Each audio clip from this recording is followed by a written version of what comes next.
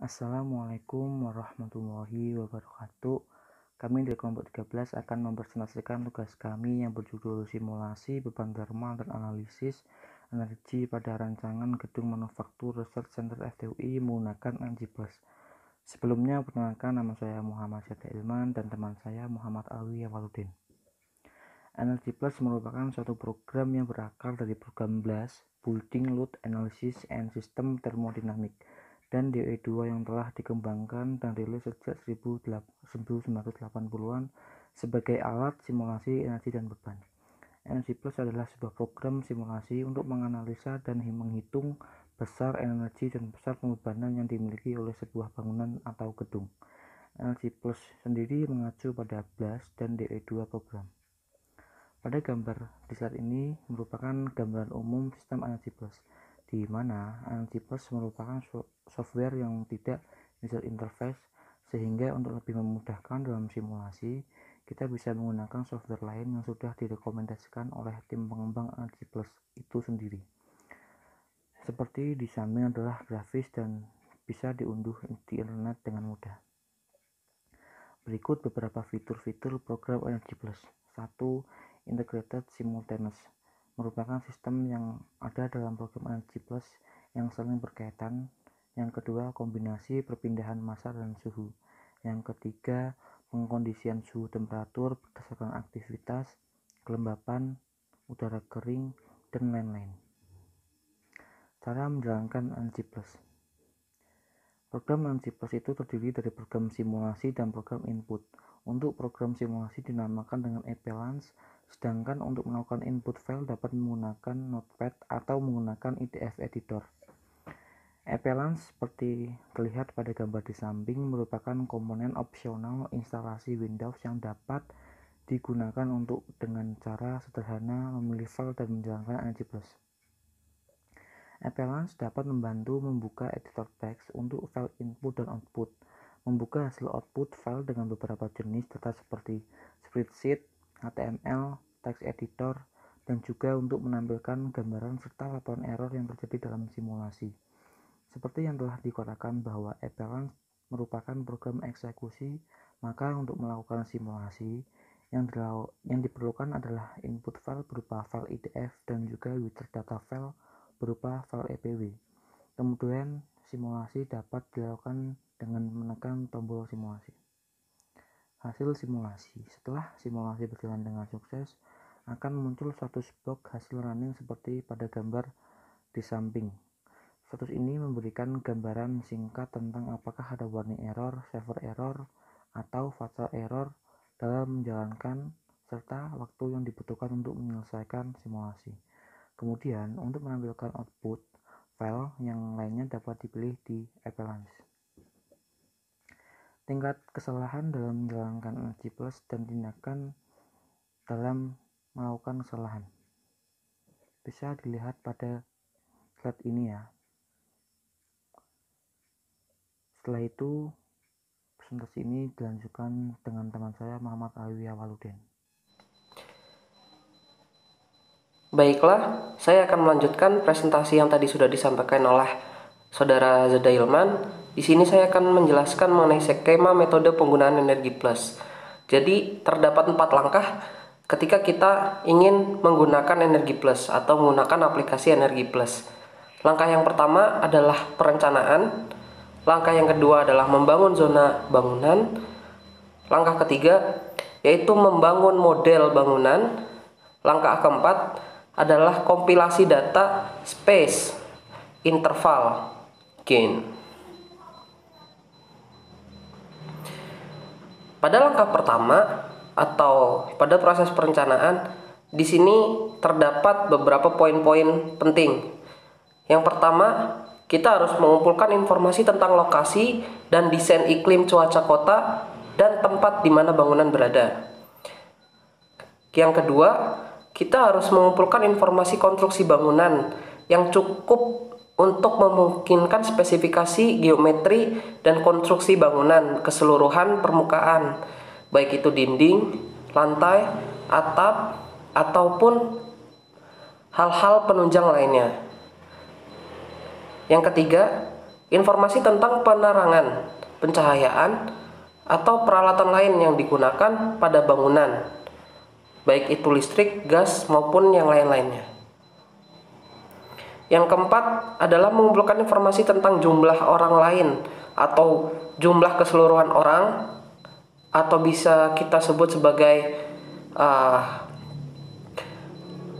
akupensinya di setiap area gedung. Yang kelima, informasi tentang termostatik untuk spesifikasi strategi pengkondisian udara pada bangunan. Yang keempat, informasi mengenai spesifikasi HFAC yang dapat digunakan serta perangkat-perangkat lainnya. Jadi tadi kita sudah membahas tentang langkah pertama. Sekarang kita memasuki ke langkah yang kedua, yaitu membangun zona bangunan. Jadi terdapat dua garis besar yang harus kita ketahui dalam membangun zona bangunan. Yang pertama adalah konsep sederhananya, yang kedua adalah konsep detail. Nah, konsep sederhana ini adalah menggambarkan keseluruhan bangunan menjadi satu zona. Jadi, kita gambarkan keseluruhan bangunan itu menjadi satu zona. Jadi, menjadi satu zona besar karena asumsi bahwa beban total bangunan dapat diperoleh hanya dengan model zona sederhana. Jadi, meskipun distribusi beban tidak dapat diestimasi dengan menggunakan konsep ini, tetapi besar beban dapat diperkirakan tidak jauh berbeda dan dapat diestimasikan dengan cara yang sederhana. Sedangkan untuk konsep detail, ini adalah konsep pemodelan yang lebih rinci sehingga dapat menentukan dengan lebih akurat distribusi aktual beban dan energi di dalam bangunan. Kita memasuki ke langkah ketiga, yaitu membangun model bangunan. Di sini terdapat beberapa poin. Yang pertama adalah menentukan permukaan perpindahan panas. Yang kedua, spesifikasi permukaan bangunan dan subpermukaan. Yang ketiga, spesifikasi konstruksi dan material permukaan dan sub permukaan. Yang keempat adalah menentukan informasi geometri bangunan. Jadi sebagai contohnya seperti lokasi, terus bagaimana ketinggiannya, seperti itu. Langkah keempat adalah kompilasi data space internal gain. Apa sih yang termasuk dalam data space internal gain ini? itu seperti orang, lampu, peralatan, infiltrasi udara. Jadi mereka itu merupakan suatu beban internal untuk zona termal. Nah, beban tersebut dideskripsikan ke dalam energi plus sebagai beban desain atau beban puncak dengan schedule yang menspesifikasikan fraksi dari beban puncak untuk setiap jamnya.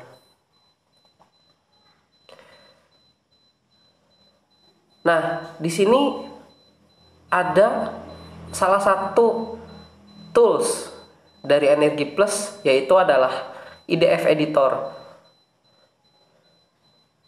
Nah, tools IDF Editor ini adalah gunanya untuk menginput file untuk disimulasikan.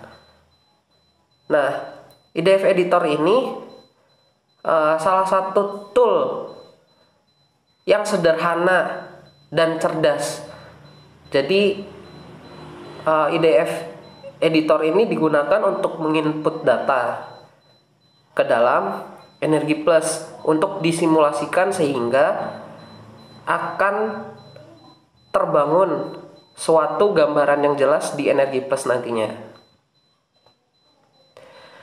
Tapi tadi selain menggunakan IDF Editor, kita juga bisa menggunakan Notepad untuk menginput data-data yang ingin kita masukkan.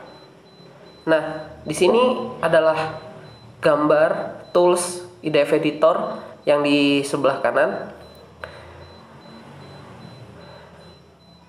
Jadi, dalam membuat komponen itu terdapat um, beberapa hal yang harus kita ketahui. Yang pertama adalah daftar kelas, yang kedua field, yang ketiga objek. Kita sekarang memasuki ke parameter energi plus. Jadi parameter energi plus ini dibagi menjadi dua zona besar. Yang pertama adalah group simulation parameter atau grup simulasi parameter. Yang kedua adalah solar distribusi. Nah, pada grup simulasi parameter itu terdapat 7 poin. Yang pertama adalah version, time step, yang ketiga adalah building, yang keempat surface connection algoritma yang insight, yang kelima adalah surface convection algoritma yang outside. Keenam adalah heat balance algoritma yang ketujuh adalah zone air heat balance algoritma.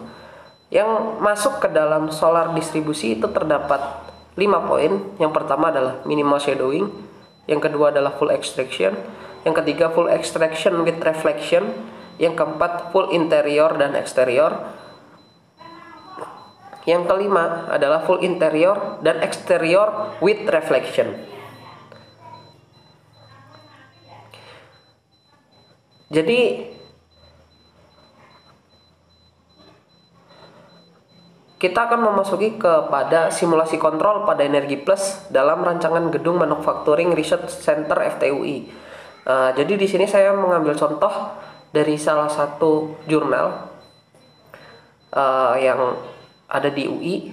Uh, jadi uh, di simulasinya bisa kita lihat pengaplikasian software energi plus.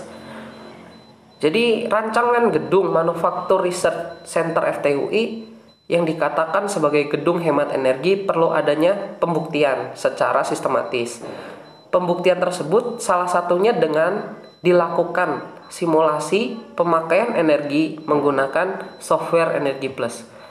Tujuan lain dari penelitian ini selain melakukan pengkajian mengenai pemakaian energi, juga dilakukan pemilihan upaya-upaya atau metode-metode penghematan pemakaian energi terutama pada sistem mechanical dan electrical. Jadi kita melakukan suatu uji coba dan melakukan rekayasa yang digunakan pada gedung. Nah, dengan simulasi software ini akan didapatkan suatu sistem mechanical dan electrical gedung yang paling hemat energi sehingga dapat menambah efisiensi efisiensi bangunan pada sektor biaya energi. Jadi kita bisa menghemat biaya pengeluaran dalam penyediaan energi di gedung mana pun selain di FTUI juga. Nah, simulasinya yang pertama harus diketahui ada beberapa poin di sini. Yang pertama adalah do zone sizing calculation, yang kedua do system sizing calculation, yang ketiga do plan sizing calculation, yang keempat run simulation for sizing period, yang kelima run simulation for weathering file run period. Jadi di sini ada beberapa metode-metode optimasi penghematan energi. Yang pertama menggunakan daylighting control pada pencahayaan. Jadi kita mengontrol level pencahayaan alami. Jadi dihitung dan kemudian digunakan untuk menentukan beberapa seberapa banyak pencahayaan yang bisa digunakan. Maksudnya ketika uh, siang hari kan kita nggak mungkin menyalakan semua lampu. Nah seperti itu.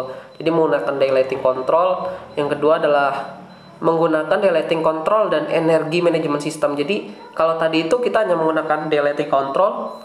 Kalau ini yang kedua adalah menggunakan daylighting control plus energi manajemen sistem jadi nanti di situ adalah penyimpanan energi yang bisa kita gunakan atau energi yang terbuang tadi kita daur ulang untuk menghasilkan energi yang lain Cukup sekian presentasi dari kelompok kami. Apabila banyak tutur kata yang kurang berkenan, kami minta maaf yang sebesar-besarnya. Wassalamualaikum warahmatullahi wabarakatuh.